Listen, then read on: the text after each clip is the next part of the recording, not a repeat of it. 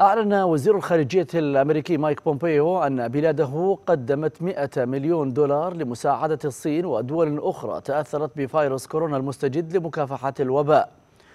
وقال بومبيو في بيان هذا الالتزام مع مئات ملايين الدولارات التي تبرع بها بسخاء. القطاع الخاص الأمريكي يظهر القيادة الأمريكية القوية في الاستجابة لتفشي الوباء. وأضاف بومبيو أنه من الممكن التأثير بشكل عميق للسيطرة على هذا التهديد المتنامي.